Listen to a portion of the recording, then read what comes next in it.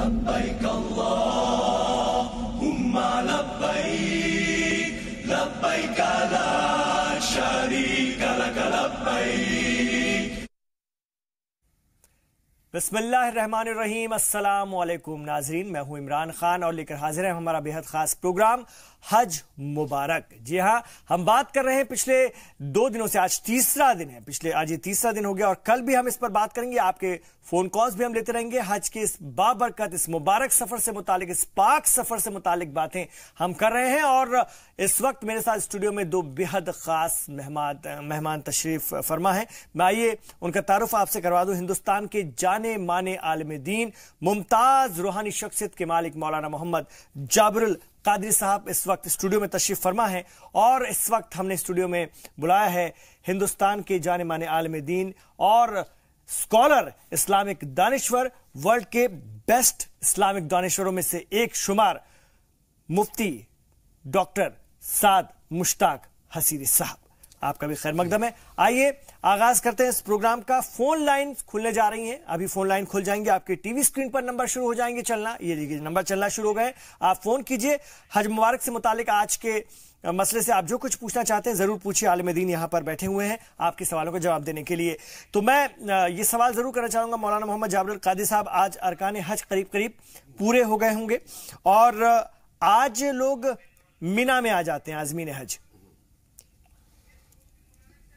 کیا کچھ ہوتا ہے؟ بسم اللہ الرحمن الرحیم۔ نحمده ونصلي على رسوله الكريم اما بعد، فاعوذ باللہ من الشیطان الرجیم۔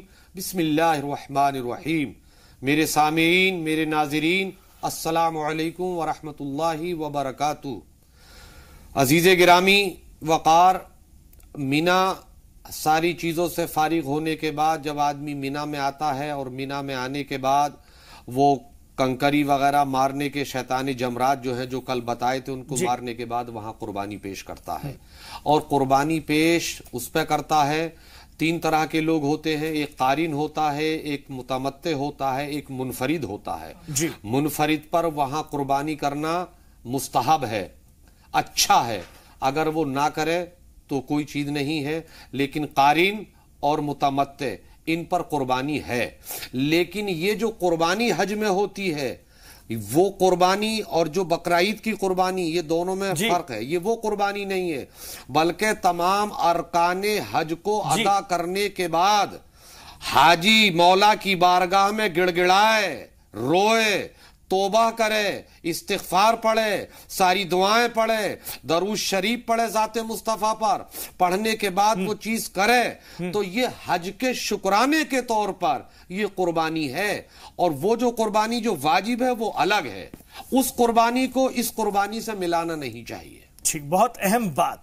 مفتی ڈاکٹر سعد مشتاق حسیری صاحب میں آپ سے بھی جانا چاہوں گا خاص طور سے۔ کہ کل کی اگر ہم بات کرتے ہیں تو کل حج سے جب آزمین فارغ ہو جائیں گے سارے ارکان پورے ہو گئے ہیں قریب قریب تو اس کے بعد پھر لوگ کہاں جاتے ہیں؟ یہ ضرور بتائیے۔ جی بسم اللہ الرحمن الرحیم احمد صلی علی رسول الکریم۔ ابھی ارکان تو پورے کل ہوں گے۔ جی۔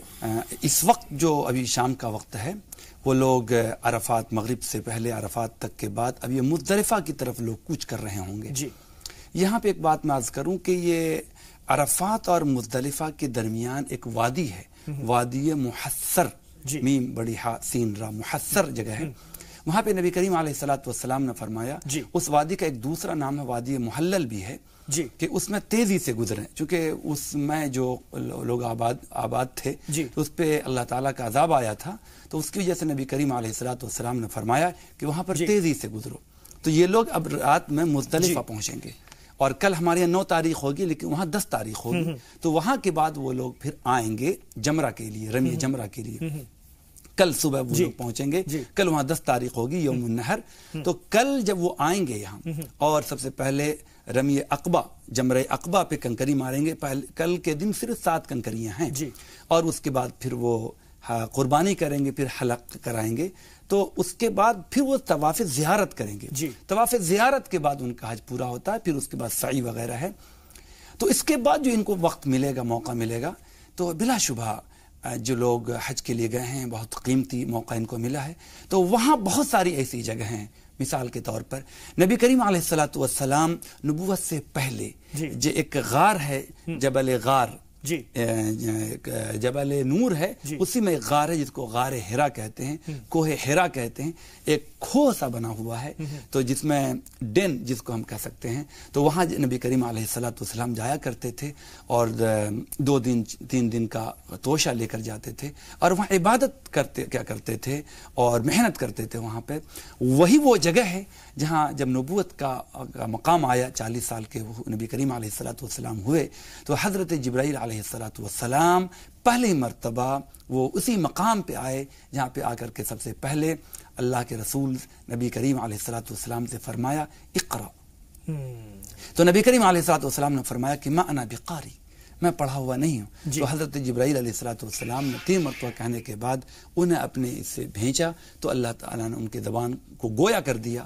تو گویا کہ وہی پہلی وہ جگہ ہے جہاں پر یہ قرآن کریم جو وحی کے طور پر ہم ہمارے پاس ہے جی۔ یہ وحی اتری ہے۔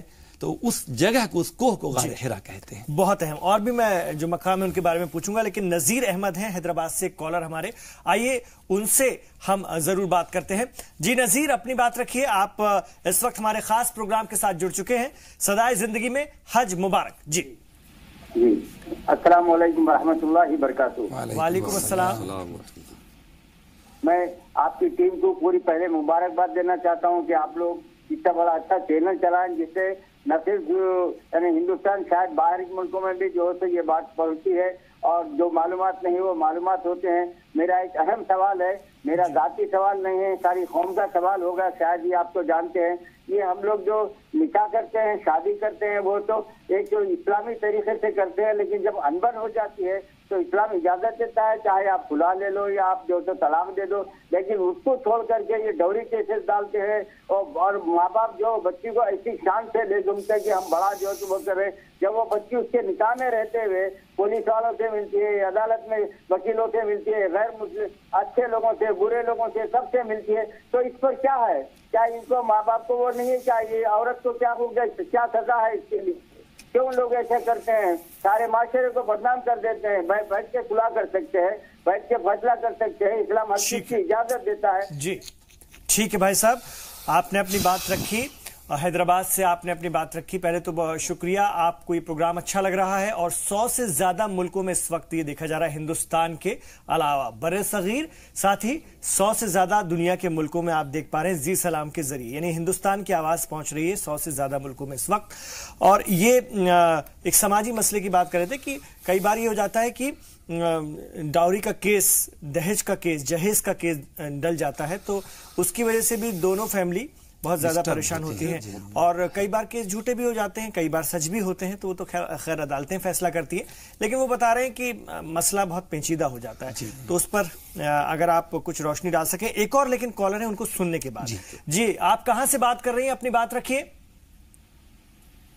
ہماری بہن ایک تھی ہمارے ساتھ اپنی بات رکھیے۔ نہیں شاید نہیں ہے لائن پر۔ جی۔ بسم اللہ نذیر احمد کے لیے آپ کیا کہنا چاہیں گے؟ میرے بھائی نذیر احمد اللہ تعالیٰ تمہاری عمر کو بلندی دے۔ تمہاری اس زبان پر حق گویائی پر میں تمہیں سلام کرتا ہوں سلام پیش کرتا ہوں۔ جو درد تم نے بیان کیا وہ درد قادری کے دل میں بھی ہے۔ میں ان نوجوانوں سے اپنے ملت کے ان جیالوں سے کہتا ہوں۔ اور اس زی سلام کے تعلق سے اس بات کو میں نے کئی مرتبہ کہا ہے۔ اور آج بھی اس بات کو ہم کہتے ہیں۔ کہ جب شادی کا وقت آتا ہے تو اس وقت کہا جاتا ہے کہ لڑکی لڑکا ایک دوسرے کو پسند کر لے۔ جب پسند ہو گیا تو بعد میں ایک مہینہ، دو مہینہ، سال، دو سال کے بعد اس کو طلاق دینے کی ضرورت کیوں پیش آتی ہے؟ اللہ کے نبی جناب محمد رسول اللہ صلی اللہ تعالی علیہ وسلم ارشاد فرماتے ہیں، فقہ کی کتابوں میں موجود ہے، احادیث میں موجود ہے، کسی نے بھی، میں قرآن کے کسی نے بھی طلاق دینے کو اچھا نہیں کہا ہے۔ سب نے اب غزل مباحات جیسے الفاظ بیان کیے ہیں۔ لیکن اور منع کیا ہے۔ لیکن اس کے باوجود بھی یہ نوجوان طبقہ ذرا ذرا سی باتوں پر اس کو طلاق دے دیتا ہے۔ یہ بدترین جرم ہے۔ اور اس کے تعلق سے جو موجودہ گورنمنٹ نے جو قانون بنایا ہے، اس کے اوپر مسلم پرسن اللہ کے جو دفتر آفس وغیرہ، ان سے میٹنگ میں مستقل آٹھ دس دن سے ان لوگوں کے رابطے میں ہوں کہ یہ جو قانون ہے، شریعت محمدیہ صلی اللہ تعالی علیہ وسلم، قرآن کریم ظالموں کے ساتھ نہیں ہے، وہ مظلوموں کے ساتھ ہے، وہ صابروں کے ساتھ ہے، وہ قانے کے ساتھ ہے، یہ عورت کے ساتھ ایک طرح کا ظلم ہے۔ اے نوجوانوں، ملت کے نوجوانوں اگر تم سن رہے ہو زی سلام کو اور اس جابر القادری کی آواز کو تو تمہارے اس وجود پر لانت ہے جو وجود مولائی کریم نے تم کو دیا۔ مصطفیٰ کے صدقے سے تم کو ملا ہے۔ طلاق یہ ایک ایسی لانت ہے جی۔ جو آج پوری ملت کو بدنام کیے ہوئے ہے معاشرے کو بدنام کیے ہوئے ہے۔ مذہب اسلام کو برباد تم نے بدنام کر کے رکھ دیا۔ اس پر لگام لگنے کی ضرورت ہے۔ شدت کے ساتھ رکنے کی۔ ضرورت ہے۔ اگر نہیں رکے تو پھر تمہاری کمروں پر کوڑے برسائے جائیں گے انشاءاللہ۔ ٹھیک ہے تو اس لانت سے بچنا چاہیے۔ اسی سے پریوار ٹوٹتے ہیں خراب ہوتے ہیں تو آپس میں صلح سمجھوتا سب سے بہترین راستہ ہے اور شریعت بھی اسی کی طرف اشارہ کرتی ہے۔ اس لانت سے بچنا چاہیے اور طلاق کا راستہ ضرور ہے لیکن اس سے بچنا چاہیے۔ یہی تمام عالم دین بھی کہتے ہیں۔ ایک چھوٹا سا وقفہ ہم یہاں پر لیں گے آپ کی اجازت سے۔ اس کے بعد اپنے اور بھی کالرز کو اپنے ساتھ جوڑیں گے اور آپ حج مبارک سے متعلق سوال رکھیں۔ ضرور رکھیں کیونکہ یہ خاص پروگرام ہے۔ آج اور کم کل ہم خاص طور سے اسی سبجیکٹ پر اسی موضوع پر رہیں گے ابھی لوٹ رہے ہیں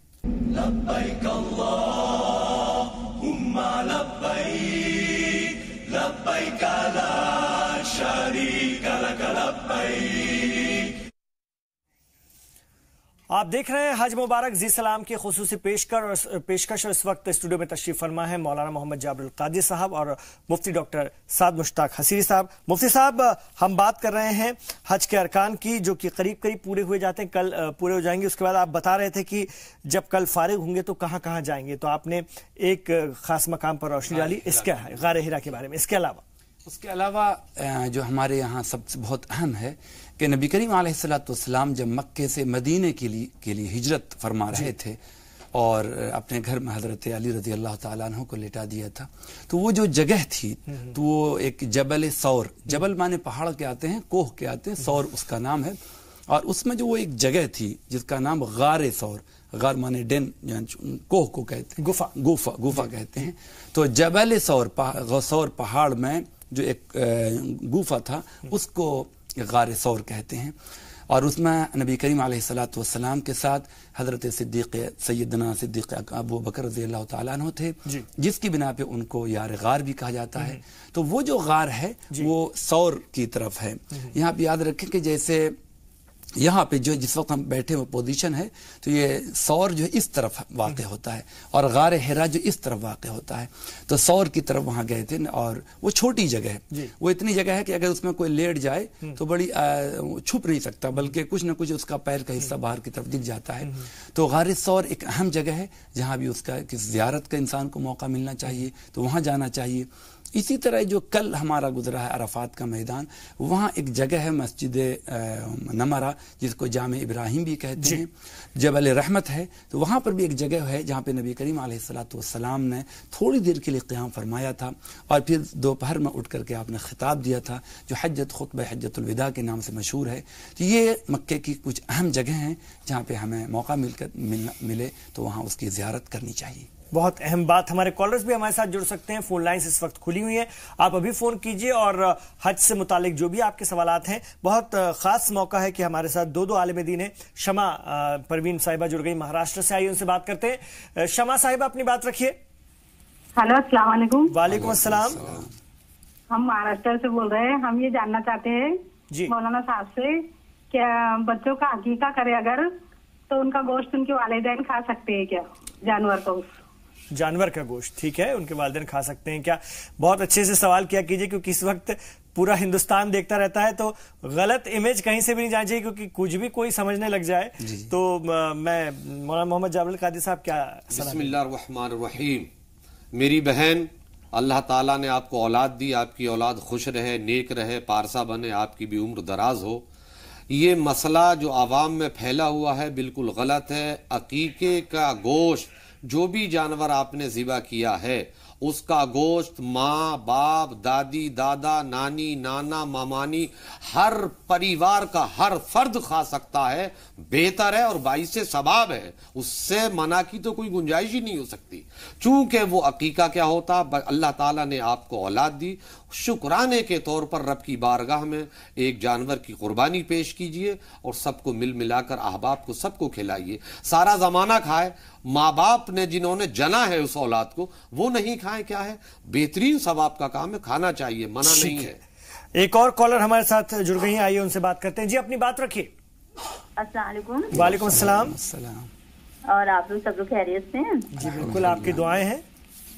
آپ کا پروگرام ماشاءاللہ بہت اچھا ہے وہ جو یہ اسپیشل پروگرام چلایا جا رہا ہے تو ماشاءاللہ بہت اچھا ہے۔ بہت بہت شکریہ۔ جی ہمارے دو سوال ہیں۔ جی۔ کہ جیسے کہ ہمارے وہاں قربانی کے لیے بکرا آیا ہے۔ اور میری امی نے ایک نیت اور کی تھی کہ اگر مطلب کہ میرا یہ کام ہو جاتا ہے تو ہم اللہ راہ پہ بھی ایک بکرا کٹوائیں گے۔ تو اس- لیے بھی ہمارے یہاں بکرا آ گیا ہے۔ دو بکرے آ گئے ہیں۔ اچھا۔ تو کیا قربانی والے دن ہم دونوں بکروں کو ایک ساتھ کرا سکتے ہیں؟ ایک قربانی پہ اور ایک اللہ راہ پہ۔ پہلا سوال یہ ہے ہمارا۔ ہوں ہوں۔ اور دوسرا سوال یہ ہے کہ جیسے فجر میں جو نماز پڑھی جاتی ہے اس کے بعد جو اشراق کی نماز ہوتی ہے۔ تو ہماری امی کے سروائکل پرابلم ہے گردن میں۔ تو وہ نماز پڑھ کے لیٹ جاتی ہیں اور تسبیح وغیرہ پڑھا کرتی ہیں۔ جا نماز سے ہی کیونکہ ڈاکٹر نے ان کو منع کر رکھا ہے زیادہ جھک کر نماز پڑھنے کو بیٹھنے کو۔ جی۔ تو وہ ایک دم جھک کے مطلب پڑھتی ہیں کیونکہ ان کو دقت بہت زیادہ ہے۔ لیکن اب اللہ کا شکر ہے تھوڑی ٹھیک ہے جی۔ لیکن وہ فجر سے اور اشراق کے بیچ میں زیادہ ٹائم رہتا ہے نا آدھا پون گھنٹے کا ٹائم رہتا ہے پڑھنے میں۔ تو وہ لیٹ جاتی ہیں لیٹ کے تسبیحاں پڑھا کرتی ہیں جب تک تو مولانا صاحب سے پوچھا پوچھنا ہے کہ اس سے کوئی دقت تو نہیں ہے نماز میں؟ ٹھیک ٹھیک آپ کا سوال سمجھ گئے۔ مفتی صاحب ایک ایک دو سوال ہیں تو ایک ایک کے جواب لیتے ہیں۔ پہلے آپ سے یہ جو دوسرا سوال تھا ان کا نماز سے متعلق جی، جی۔ اس کا سوال۔ جی بالکل کوئی حرج نہیں ہے کہ فجر کی نماز پڑھنے کے بعد ان کو سروائکل ہے یا دقت نہیں بھی ہے اور تصویر پڑھتے پڑھتے آدمی لیٹ جائے۔ بشرطے کہ اس کو نیند نہ آئے۔ اگر نیند آ گئی تو پھر وہ وضو ٹوٹ جاتا ہے۔ وضو ٹوٹنے کے بعد تو ذرا پھر دوبارہ سے اٹھ کے وضو کرنا ہوگا۔ اور اگر وضو ٹوٹ بھی جائے تو پھر دوبارہ وضو کر کے بھی اشراق پڑھ سکتی ہیں۔ اور اگر لیٹ کر کے جاگتی رہیں تو اس میں کوئی حرج نہیں ہے۔ کہ فجر کی نماز پڑھ کر کے مسلح پہ لیٹ جائیں اور جاگتی رہیں تب تو اسی وضو سے وہ اشراق کی بھی نماز پڑھ سکتی ہیں۔ اور اگر وضو ٹوٹ جائے تو پھر نیا۔ لیکن اسی جگہ پہ بیٹھ کر کے اشراق پڑھ کے اٹھیں تو اس کی فضیلت زیادہ ہے۔ اس کے لیے اس کا خیال رکھنا ہے کہ وضو نہ ٹوٹے۔ ٹھیک ہے باقی اللہ نے بہت آسانی فرمائی ہاں ہے۔ اونگ نہ آئے مطلب گہری نیند نہ سو جائے۔ ٹھیک ٹھیک بہت اہم بات۔ اور یہ جو قربانی کے بکرے کے حوالے سے پوچھا تھا آپ سوال سمجھ گئے۔ جی تھے۔ جی۔ بسم اللہ الرحمن الرحیم۔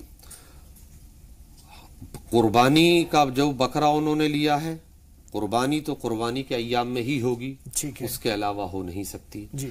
اب جو انہوں نے جو منت مانگی ہے یا جس جو بولا تھا انہوں نے کہ ہمارا فلا کام ہو جائے گا تو ہم ایک بکرا ذبح کریں گے۔ تو یہ ان ایام میں کرا رہی ہیں۔ تو حسن خوبہ بہت اچھی بات ہے ورنہ کبھی بھی کرائیں جب وہ کام پورا ہو جائے تو منت جب پوری ہو جائے تو اسی وقت کرا دینا تو اس لیے انہوں نے دو لے آیا ہے۔ دو لیا ہے دونوں کو کریں کوئی ثواب نہیں دونوں میں انشاءاللہ ثواب ملے گا۔ ادھر آپ کی قربانی جو واجب تھی وہ بھی ادا ہو جائے گی اور اس کو بھی آپ قربانی کے دوسرے کو بکرے کو ذبح کریں گے تو اس میں بھی اللہ تبارک و تعالیٰ وہ پوچھ رہے اسی وقت میں کر ہاں سکتے ہاں ہیں؟ اسی وقت میں اسی دن۔ ہو جائے گا کوئی دقت۔ والی بات نہیں کوئی مذائقہ نہیں۔ ٹھیک ہے اور پٹنہ سے شبنم صاحبہ ہیں ان کو بھی لے لیتے ہیں فون۔ وقت ہمارے پاس کم ہوا جاتا ہے۔ شبنم جی اپنی بات رکھیے۔ السلام علیکم حافظ صاحب دونوں کو۔ وعلیکم السلام۔ یہ میرا تین سوال ہے۔ جلدی، جلدی۔ سنیے گا۔ جی جی۔ جیسے طلاق ہو جاتا ہے اگر عورت نے نہیں سنا عورت گئی تھی کسی گھر میں اور اس کی ساس آ کر بولی کہ میرے بیٹے نے تم کو طلاق دے دیا۔ اور اس کے بعد لڑکی کو اس بچے کے گھر کو گھر سے نکال دیا۔ جی۔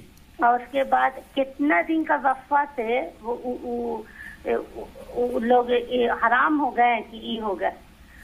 دوسرا سوال ہے کہ ہم بہت زیادہ پریشان ہیں۔ جو بھی کرتے ہیں بہت زیادہ پریشانی جو کام کرتے ہیں اس میں ناکامیاں ملتی ہیں۔ جی جی۔ ٹھیک ہے۔ ایک اور ہے ہاں۔ ایک اور میری بیٹی میرا نام ہے سبنا اور میری بیٹی کا نام ہے لائبہ۔ دونوں کا معنی پوچھنا۔ ہاں ٹھیک۔ آپ کا نام کیا بتایا آپ نے؟ شبنم۔ شبنم۔ ٹھیک ہاں میری بیٹی کا لائف اس دن میری پوری بات مکمل نہیں ہو پائی تھی جی، جی، اس لیے جی۔ میں اتوار میرا تینوں سوال کا جواب ضرور بالکل بالکل بالکل۔ میرے پاس نا دو منٹ ہے میں آپ کی پوری کوشش کرتا ہوں مفتی صاحب ان کے سوالوں کے جواب دیجیے گا۔ پہلا تو یہ جو کہہ رہے تھے کہ طلاق ہو گئی ہے اور ماں نے بتا دیا عورت نے سنا نہیں ماں نے کہہ دیا کہ میرے بیٹے نے تم کو طلاق دے دیا ہے۔ جی یہ تو مختصر سے وقت میں ذرا پوری واضح بات نہیں ہو پاتی ہے پھر بھی۔ اگر ماں نے آ کر کے اطلاع دی کہ شک میرے بیٹے نے تمہیں طلاق دی ہے عورت کا طلاق میں سننا ضروری نہیں ہے۔ طلاق پڑھنے کے لیے مرد کا کہہ دینا زبان سے کافی ہوتا ہے۔ البتہ جی۔ اگر مرد بعد میں انکار کرے کہ میں نے طلاق نہیں دی ہے اور صرف ایک گواہ عورت ہے تو اس وقت میں صرف عورت کی گواہی تنہا عورت کی گواہی قابل قبول نہیں ہوگی۔ اس کے لیے اور گواہ کی بھی ضرورت ہے۔ اور اگر بعد میں لڑکا اقرار بھی کرتا ہے کہ ہم نے طلاق دی ہے تو اس کی طلاق مان لی جائے گی۔ طلاق کے پڑھنے کے لیے عورت کا سننا ضروری نہیں ہے۔ ٹھیک ہے یہ بات اور کتنے دنوں تک کے لیے حرام؟ جی۔ طلاق کے پڑھنے کے بعد طلاق میں کئی طرح کے الفاظ ہیں صاف لفظوں میں یہ کہا کہ میں نے طلاق دی ہے۔ تو تین ایم سی آنے تک جیسے پاک کی کی حالت میں طلاق دی گئی تو ایک ایم سی آئے پھر پاک پھر ایم سی آئے پھر پاک پھر ایم سی آئے۔ مطلب تین مہینے ہو گئے۔ تین مہینے کم بھی ہو سکتے ہیں زیادہ بھی ہو سکتے ہیں ایم سی یاد رکھنا ہاں۔ چاہیے۔ تو اس وقت تک وہ رجوع کر سکتا ہے۔ اور اگر نہیں رجوع کیا اس نے ایک طلاق دی ہے تو پھر نیا نکاح کرنا ہوگا۔ یہ کنڈیشن اسلام کی ہے۔ ٹھیک ہے بہت کلیئر ہو گیا۔ شبنم کے معنی شبنم کے اوس کے ہیں جو اوپر سے شبنم اوس گرتی ہے اس کو جی۔ شبنم کہتے ہیں۔ بیٹی کا نام ہے لائبہ۔ لائبہ۔ کے معنی آتے ہیں کھیلنے والی۔ لائبہ یلعبو کھیلنا قرآن کریم لہو لائبہ ہے۔ اور بعض لوگ کہتے ہیں کہ جنت میں جو بچیوں کا نام ایک لائبہ ہوگا لائبہ کھیلنے والی نام اچھا ہے رکھ سکتی جی، ہیں اور کچھ دنوں سے پریشان چل رہے ہیں کچھ کام نہیں بن پا رہا ہے کیا صلاح دیں گے؟ اللہ رب العزت سے اس کے لیے دعائیں کرنی ہے۔ سورہ بقرہ اپنے گھروں میں اس کی چالیس دن تک اس کے اگر یہ پڑھوا سکیں تو بہت اچھی چیز ہے۔ جی۔ اور خود کے لیے آپ جی۔ جو ہے یا حیو یا قیوم کا ورد رکھیں۔ جی۔ جی۔ بالکل بہت وقت اب ختم ہوا جاتا ہے۔ مجھے لگتا ہے ان کے تینوں سوالوں کا اطمینان سے جواب مل گیا اور بہت صاف صاف کلیئر جواب مل گیا۔ تو مولانا محمد جابر القادی صاحب اور مفتی سعد مشتاق حسیری صاحب آپ دونوں کا بہت بہت شکریہ اس پروگرام میں آپ شامل ہوئے۔ آج بھی وقت پورا بہت جلدی ہو گیا۔ ہمارے کالرز بھی ہمارے ساتھ رہے بیان بھی بہت سارے ہوئے بہت ساری باتیں جاننے کے لیے ملی۔ انشاءاللہ تعالی کل پھر آپ لوگوں سے ملاقات ہوگی اور ہم حج مبارک اپنے اس پروگرام میں اور بھی باتیں کریں گے حج سے متعلق۔ کل کیا کچھ ہوگا اس کے بارے میں ہم بات کریں گے، سمجھنے کی کوشش کریں گے آپ کے ذریعے اور بھی بہت ساری باتیں کریں گے۔ تو آپ آج اس پروگرام میں شامل ہونے کے لیے آپ دونوں کا بہت بہت شکریہ۔ ناظرین، آج کے اس پروگرام میں بس اتنا ہی۔ ان شاء اللہ تعالیٰ آپ سے کل ہوگی پھر ملاقات۔ تب تک کے لیے اجازت دیجیے اور آپ دیکھتے رہیے۔ زی سلام۔ لبائک اللہ لبیک لا شریک۔